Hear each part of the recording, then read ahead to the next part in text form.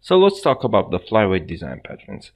A flyweight design pattern is a structural design pattern. So it's minimize the memory usage by sharing of its data with other similar objects. So imagine you have 1000 or 2000 instances of class in your scene and each instance holding many information and attributes. So instead of all these instances and occupy too many memory eh, on your computer, so instead we make a one single class holding all these sharing information and all these instances will talk to this class and will take this information. So this will save you much more memory. It will minimize the usage memory. So in unreal engine in, in unreal engine 4 and 5 you're already familiar i don't know if you're already familiar with the foliage uh, the foliage. You can put many many instances of your or of your grass or or or tree or rocks or anything you you like in the foliage it's not limited to these options. You can put anything.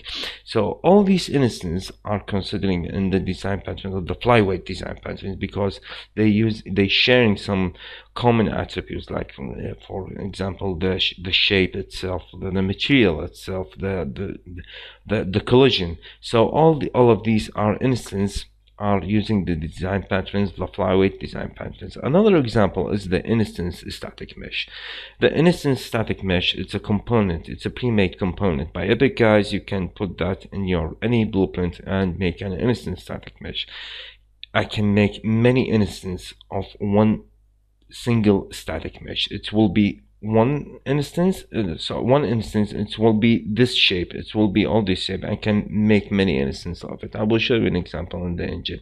So if i go to the website in game programming design patterns he talk about the uh, the, the flyweight he, show you an example how we can share all for example uh, I, I sharing all these uh, information with the RAM. Imagine all these are trees in your scene, and all these have these attributes. So instead of having all these instance of these classes all with these many information he make one singular class call it model and all these classes talk to this single class and take the necessary information instead of using and occupying more more memory. The same one is in refactoring guru he used this and talking about how a particle also all the particles have a coordinates and vector speed and color sprite so instead all these instances of these particles they basically talk to one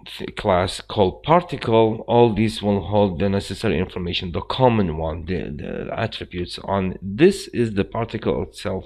And when i call particle this will be all the necessary information that i need. So there is an example examples on these with on, on these two websites you can you can uh, uh, you can uh, drive to the, to this uh, website and see how it's useful for you. So uh, let me give you an example in the in the engine itself. So in in there in this section from the selection mode I can go to the foliage. And this will uh, go into the foliage mode. So if I go to add a new foliage, I don't have any static mesh foliage in the in this project. So let me make one. So create a new static mesh foliage. So let's call it a grass, for example. Save. It will be there. So this will be considered as a glass, uh, grass. Sorry, it's not a grass. So I will open this grass and uh, select any shape, any static shape. So I will pick this one and save. Now if I go back, I can tick that. It will be active and go to the paint and paint many instances of these static mesh. So all these are considered and taken as a flyweight design patterns. They are sharing uh, the material, they are all sharing the collision, they are all sharing the shape. So these are the flyweight and the foliage. So another example, if I go back to the selection and delete this one. So let me make a blueprint, a blueprint class, BP actor, for example. Open that. In this, in the component, I can search for instance static mesh actor. So this will be the instance static mesh actor. let me take a one I can take the same one as a chamber this will be this instance static mesh if I go down there I can create many instances but let me drag this blueprint and drop it in my scene.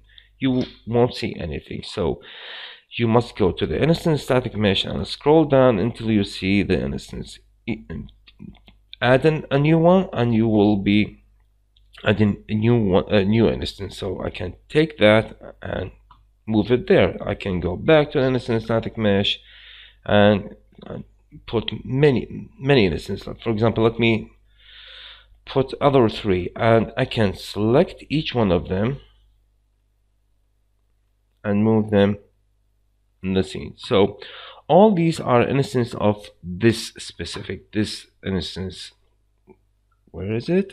This instance static mesh so all of these are sharing the material sharing the collision and sharing the shape. So all these are considered instance static mesh it's super useful. It will all the in fact all this actor all these instances will be will make you a one draw call on your cpu it will save you a lot on the CPU and even on the memory. So it's very useful. So this is the design patterns that the engine use uh, in the flyweight. So uh, in the foliage and the instance static mesh. So yes uh, these are the the flyweight design patterns in unreal engine. So see you in the next video